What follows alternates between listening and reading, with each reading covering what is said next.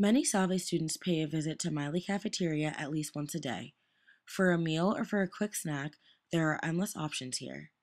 Some options are not the healthiest, but aside from the sweets and treats, those students who are health conscious have a variety to choose from.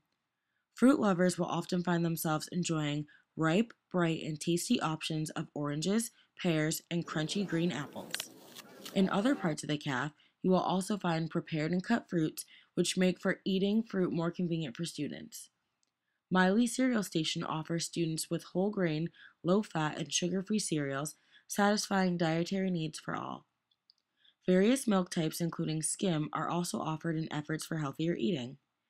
Prepared sandwiches with ingredients and calorie content can also be found throughout the caf. Miley Salad Bar allows for students to create their own healthy concoctions with a wide range of toppings, like tortilla pieces, tabbouleh, mozzarella, and chicken from the hot station.